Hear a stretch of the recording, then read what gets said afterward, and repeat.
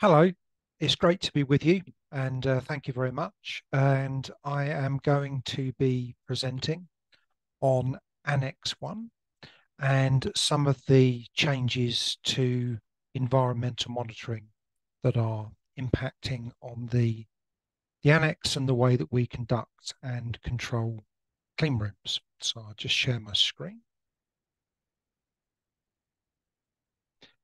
Okay, brilliant. So I'm, I'm, I'm Tim Sandle, and it's a pleasure to be with you.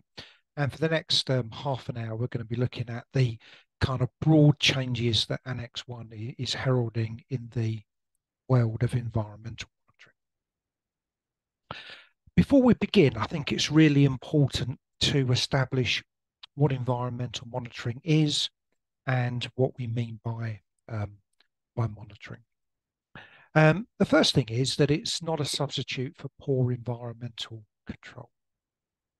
We have to ensure that we've introduced quality by design and risk assessment into our operational and clean room designs, get that correct. And then when we've assessed our risks, controlled them adequately, and reduced them down to an acceptable level, then it's appropriate to consider where do we want to monitor. Environmental monitoring is also ineffective if it's been poorly designed. It's also something that's not fully outlined in any standard or compendia. So there's always going to be a, a degree of interpretation. And this is why a microbiologist is needed to, to lead the development of the program. It's also unlikely to be exactly the same in each facility. There are some general principles, but um, there's always going to be local variation.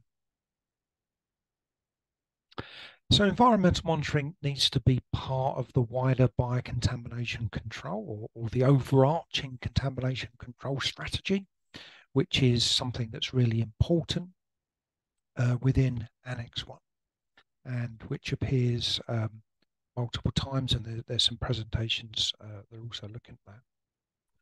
Uh, environmental monitoring needs to be well thought out, well designed, based on scientific principles.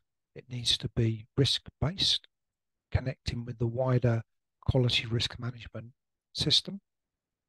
We have to make sure it's documented in terms of having a policy and a rationale, a procedure on how to execute, and then the various documentation to capture and to trend analysis.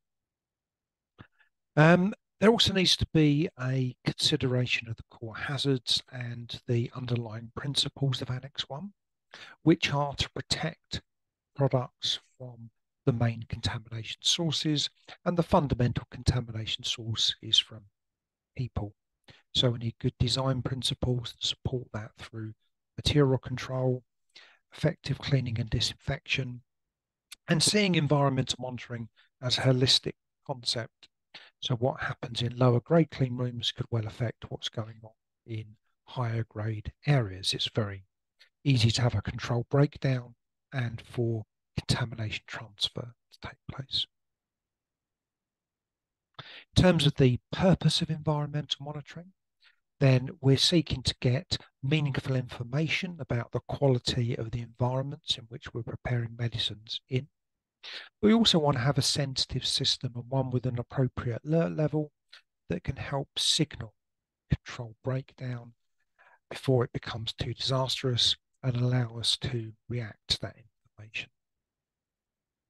It needs to be able to uh, give us a degree of assurance that when we're preparing sterile medicines that um, we have sufficient data which to be able to make uh, release decisions.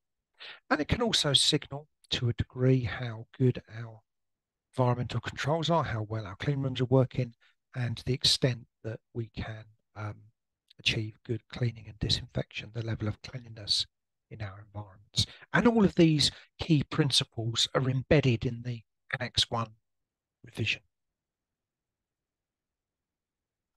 So an effective environmental monitoring program will help us to demonstrate good environmental quality. It'll give us a timely and sensitive warning system and allow us to take action in good time. Now, in terms of some of the key changes in relation to um, Annex 1, then we're getting a signal that we need a more nuanced environmental monitoring program, one that's going to react to key events and not simply be formalistic or doing the same thing over and over again. So we may need to increase frequencies or look for alternative locations when we have greater points of risk. this could be coming out of a shutdown. Uh, often we want a higher level of environmental monitoring to test the impact of any works upon the clean room environments. We also want to understand how effective our cleaning and disinfection is. So we're going to be um, undertaking monitoring prior to cleaning to assess what's the worst point, and then post cleaning and disinfection to assess how effective that has been. If we're making changes like um, increasing the number of operators allowed in an area or introducing a new shift pattern, we also want to have a perhaps a greater level of understanding about that environmental impact. And similarly with new equipment and also following engineering works and, and, and Annex 1 calls out um, the need to pay attention to um, the impact of works of maintenance on facilities, particularly when they're in the operational state. Also in Annex 1, we have, particularly with where grade A data is expressed, the change from less than one CFU, CFU being colony forming unit, to the statement saying no growth. And this not only shows a tightening of the expectations as far as Annex 1 is concerned, it also signals that alternative methods can be used, ones that don't necessarily use the colony forming unit as a way of expressing um, data. We also um, get the importance of trending. So we need to trend microbial counts, but also the types of organisms and to study the patterns of the types of species that are recovered from clean rooms so we can get an idea of whether resistance is occurring. And we also need to be more cognizant of the alert level as well and look for subtle changes there to see whether signaling any significant changes in data, particularly where we're getting consecutive alert levels or strange patterns data. And of course, we need to do full in-depth analyses of where we get action level excursions as well. And I'll dive into some of that in a little bit more detail as we progress with this presentation.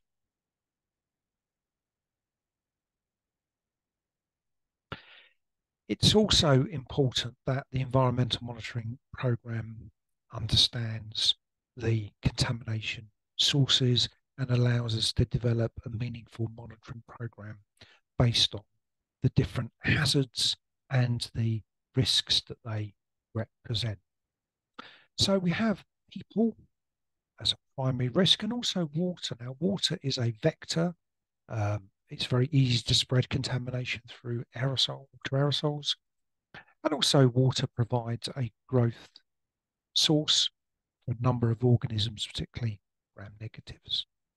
Then we have secondary sources. So contamination is going to be in the air and that can settle out or be misdirected in, in the wrong way.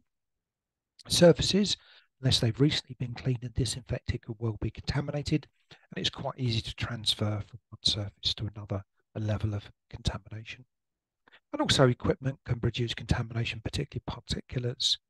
And with all of these sources, we are seeking to protect the product. we're trying to avoid risk of microbial ingress into the product.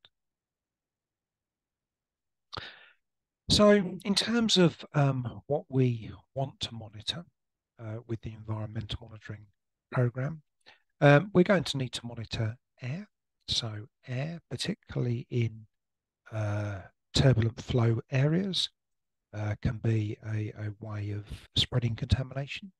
But also in grade A, in unidirectional airflow, then we can also rake first air if we carry out interventions through glove ports, for example.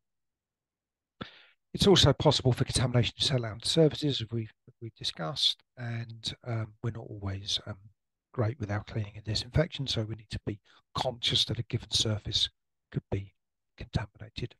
And then, of course, the variations around people anyway in terms of behaviours is, is always going to be something that we need to be concerned about. So in terms of um, how we monitor, um, there are the established classic methods, and these are again uh, described again in the annex, but there are some subtleties and some issues around the um, accuracy of these methods that, that the annex mentions and, and they're worth spelling out. But we also have rapid microbiological methods as well, which are available. And some of these are becoming increasingly robust and, and suitable for clean room use. So we need to consider rapid methods in addition to the classic methods or even as a, eventually as a whole scale replacement. Um, so let's just consider some of the uh, key issues to do with the classic methods. So the first thing is active air samplers. Now, the first thing is not all active air samplers are the same. They work in different ways. There's a big difference between those that work by filtration or impaction or centrifugal forces, for example. But also, all air samples differ in their level of accuracy. So air samplers have a biological collection efficiency, and they also have a physical collection efficiency. And the physical collection efficiency is expressed by the D50 value. And the D50 value is the smallest size of particle, at which point we can be confident of picking up 50% of the contamination that enters the air sample. So as a general rule, the smaller the particle for the D50 value, the more accurate our air sampler will be. So we generally want to be specifying air samplers of say one or two microns at D50. They're, they're going to give us uh, more reliable recoveries, particularly where we're looking for low level contamination as we might do in grade A environments. We also need to be mindful of, of agar dehydration. I'll come to that a bit more in settle plates in a second. Uh, we also need to make sure that our air sampler is not going to disrupt the airstream and it's not going to be pumping out particles. Now, settle plates, uh, very useful form of environmental monitoring when thought is given to their appropriate location. So we need to understand airflow visualization, and airflow visualization is given a big place in that's described in a lot more detail. And looking at those air patterns can help us to determine where the most appropriate locations for our settle plates. Um, we also need to be mindful of the risk of agar desiccation, and the annex makes reference to this. So we need to make sure that our plate can be exposed for um, four hours without losing any of its agar structure and also still being able to recover uh, viable microorganisms. And if we find that plates are cracking, well, one, that's a data integrity issue, but two, it means that we need to work with our media suppliers and improve the robustness of our plates, such as having a deeper agar fill, for example. Contact plates um, are generally effective. We need to be careful that they because they leave agar residues, so we need to disinfect afterwards. But perhaps the most important consideration with the contact plate is the need for them to contain a disinfectant neutralizer because there probably will be residues, even if we're using low residue cleaning and disinfectant products on surfaces. We can also get devices that can help us to standardize the time and pressure, and they all help to make the uh, act of contact plate sampling more consistent. Swabs, um, there are obviously some issues around with swab recovery, but um, data shows um, that flock swabs give a far better recovery than plain swabs. And with flock swabs, we can get recoveries equivalent to, or sometimes even better, than we can achieve with the contact plate. with particle counters, um, we need to make sure that um, particle counters are in meaningful locations. We need to note what Annex 1 says about the potential to need to add additional locations, particularly not being over reliant necessarily on classification data, but with introducing risk based um, thinking as well. So it's going beyond the classification, particularly for ongoing monitoring. There's also some other things that are, that are quite important to do with particle counters, and many of these are referenced in the annex as well. But we need to make sure that our particle counter is being calibrated against an internationally recognized standard. So the annex says we need to follow ISO 14644 for clean room classification. And within ISO 14644, it directs us to ISO 21501 for our particle counter uh, qualifications and calibrations. We also need to make sure that when we're monitoring in unidirectional airflows that we're using isokinetic probes and that the mm. probes are orientated in the direction of the airflow. We also need to control the tubing as well. So particle counting tubing should not be any longer than one meter. If it does have to have a bend in it, any bend should be minimized and should there should not be any kinking. A good standard rule is to make sure that any bends in the counter are at least greater than 15 centimeters, but really we want to try and avoid any bends at all and make sure we've appropriately risk assessed that as well. And also, uh, when we're situation particle counters, we need to be conscious of anything that might give us a false uh, positive result, like spraying glove spray, too close to the counter. Now, rapid microbiological methods, uh, there's a number um, coming onto the market. We have um, ways of um, getting early detection for agar plates using techniques like blue light excitation. We also have ATP swabs, and we have the newer generation of particle counters, so what's called spectrophotometric or biofluorescent counters. And these use advances in uh, optics, and they have um, several biosensors within them that can pick up different um, potential elements of microbial cells. So they differentiate between inert particles and biologic particles. And these this could be a very powerful tool. So at grade A or at grade BC interfaces, assessing numbers of people in changing rooms and other applications. So there's a quite an exciting, rapid wave of technology that's coming through, and Annex 1 actively encourages that. Um, there's also mention in Annex 1 for us to adopt a sort of more uh, nuanced and detailed approach to the environmental monitoring program. So we need to understand how often we're going to monitor. Now, for sterile manufacturing, that's fairly uh, well laid down. We have to do continuous monitoring, and we're directed to make sure that begins with startup and goes all the way to the end of the process. But for other clean rooms, we may have grade B support rooms, grade C, grade D areas, then we need to adopt risk-based thinking to determine how often we should monitor a given clean room.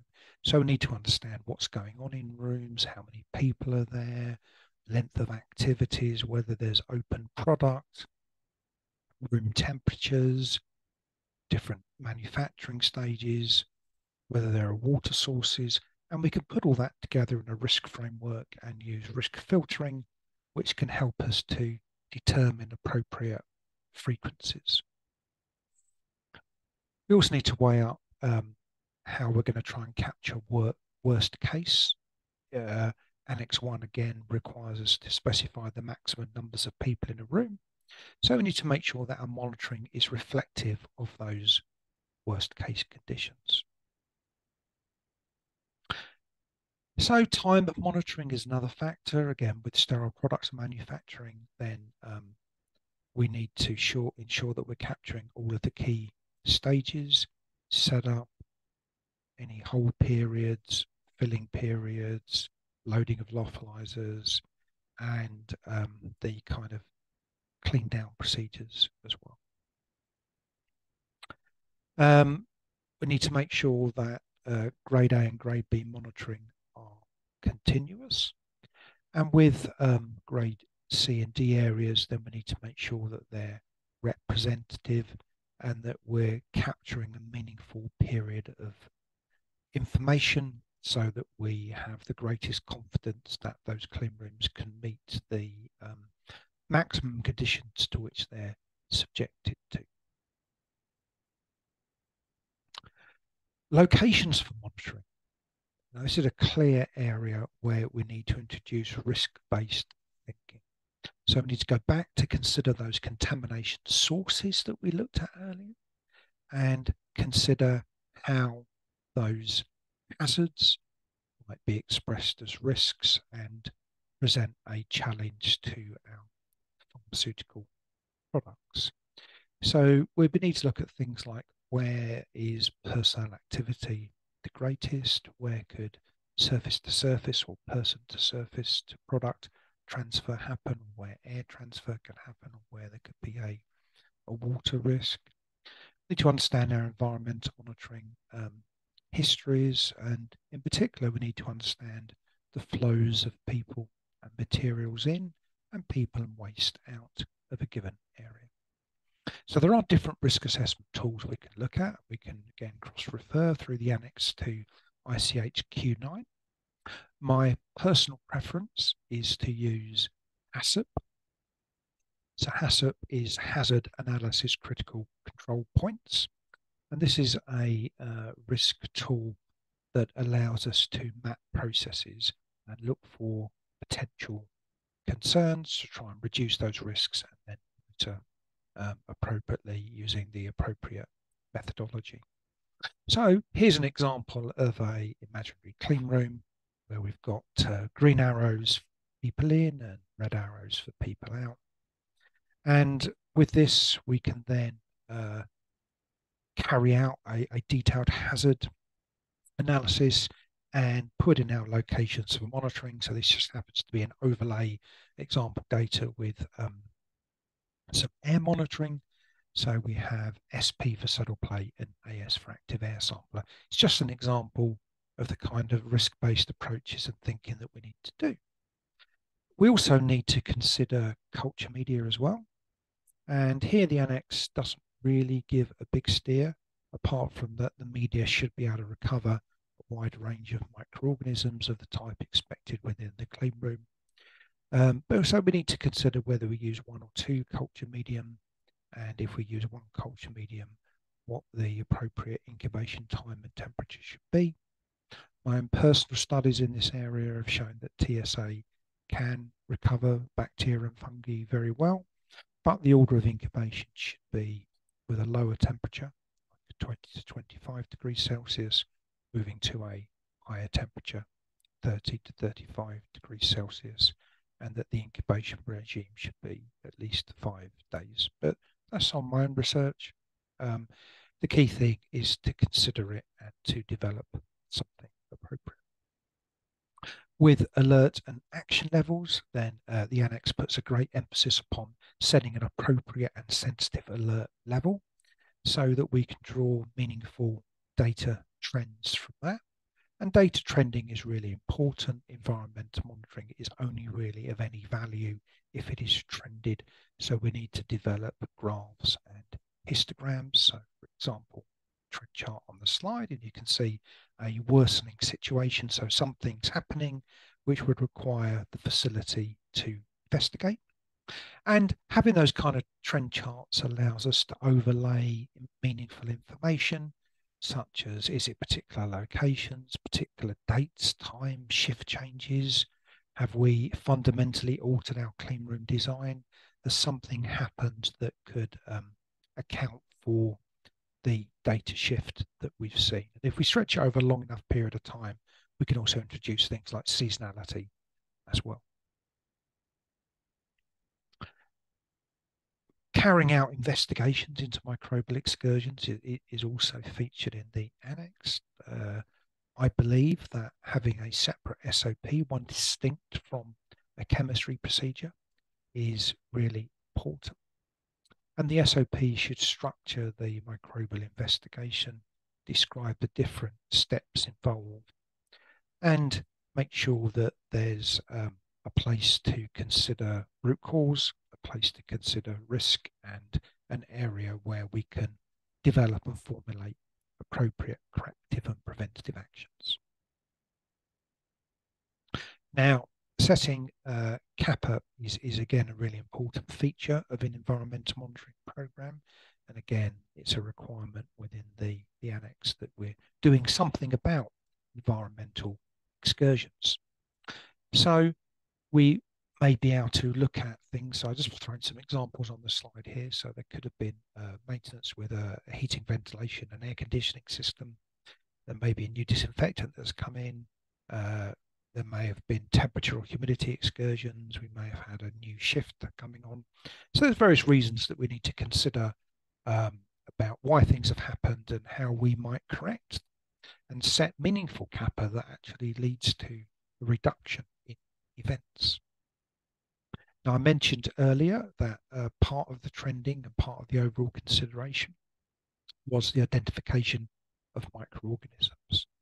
So we need to understand what the microbial types within the facility because changes in the norm can signal problems with cleaning and disinfection. If we're suddenly seeing organisms that are resistant to standard disinfectants might indicate that we need to vary how often we apply a sporicide. And can also get information about potential causes or origins of contamination by grouping organisms into different categories. So we might find a predominance of organisms that come from humans, and if they happen to be organisms that were associated with the nose and mouth, like streptococci, then they might signal to us that we've had a, we know, we've got poor mask control or something similar. And we can also use the most common types of organisms profiled to challenge our culture media to carry out disinfectant efficacy testing as well. So there's a lot of uh, meaning and key data we can draw. So it's not just about the numbers of organisms. It's not always just about the frequency or the gaps in the events. It's also about the species and what they might be telling us.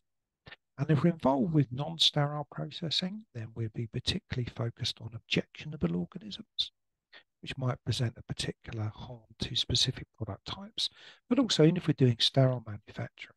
And although we shouldn't find organisms, there still might be certain types of organisms that are so strange or have come from sources that really signal really bad control breakdowns like fungi that um, again we may want to react to with a different uh, degree of concern and uh, overall awareness.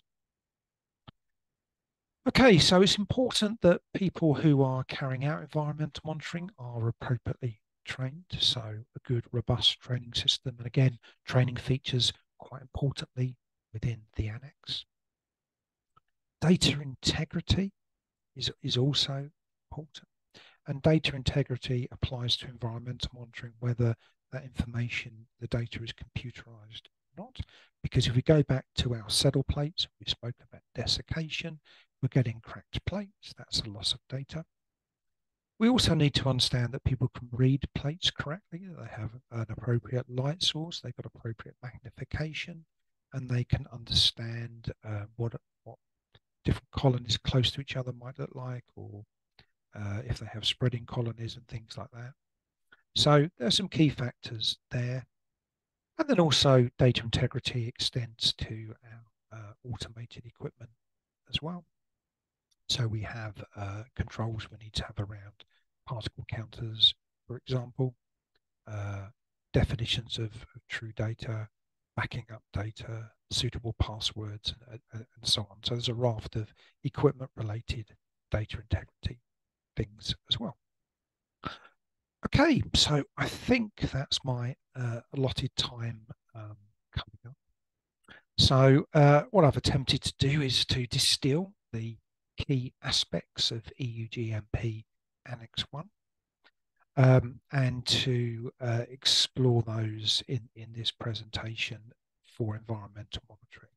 So the key changes about uh, nudge to adopt rapid methods, the limitations with the conventional methods, and the need to think about things holistically, to think about things in terms of risk, to understand how contamination interacts, that there are different origins, different sources of contamination, but there are equally different vectors that can spread that contamination around, and that the monitoring program needs to be finely tuned to adapt to that.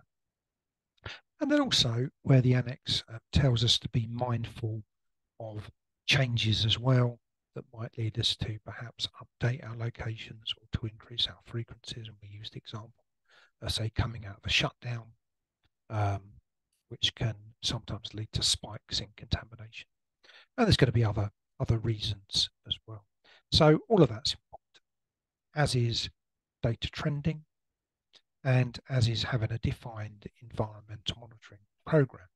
So it's a program that needs to be documented and also regularly reviewed.